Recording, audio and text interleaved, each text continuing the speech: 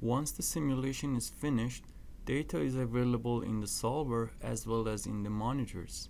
This is indicated by the small red square added to the object's icon.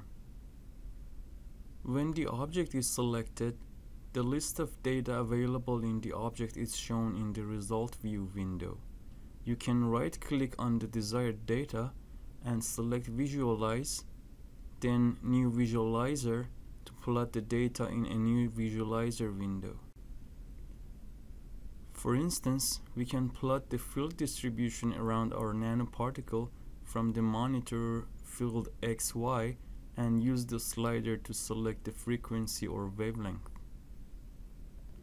We can also plot the data by right-clicking on the monitor itself. For example, let's plot the flux data from the monitor SCAD. In this plot, sigma front corresponds to the amount of power going outward through the monitor's surface, which represents the scattering cross-section of the particle. On the other hand, sigma back represents the absorption cross-section of the particle. You can also access and post-process data using script commands. Here we use a script file to plot the Mie efficiency which is defined as the ratio of scattering or absorption cross-section and the geometrical area of the particle, and compare it to the theory. We can also compare these results to the case without the mesh constraint object.